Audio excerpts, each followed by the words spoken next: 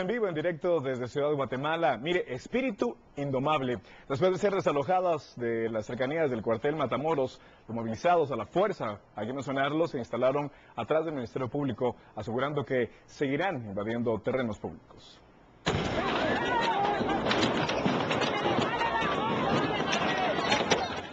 Fueron algunas de las imágenes que las cámaras de Noticiero Guatemala captaron ayer en el desalojo que se registró en el asentamiento Jacobo Arbenz Guzmán, que era habitada por más de 50 familias. Estos pobladores, luego que fueron desalojados por las fuerzas de seguridad, tomaron la decisión de invadir terrenos cercanos al Ministerio Público en el barrio Gerona. Fuimos desalojados y estamos sin fuerzas ya para luchar.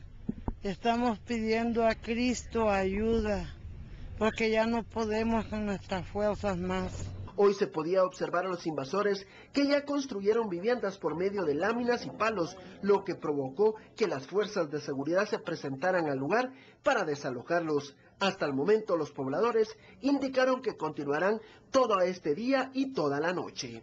Aquí estamos rodeados ya de patrullas, de todo y y ellos lo hacen para intimidarlos porque todavía ellos no tienen una orden de desalojo porque no nos pueden desalojar o, o, venir a, a, decir que nosotros estamos este, adueñándonos de estos porque aquí estamos nada más para mientras.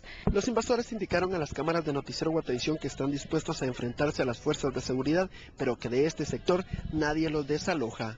Por una Guatemala en paz en cámara Luis Apche, reporta para Noticiero Guatevisión Alberto Cardona.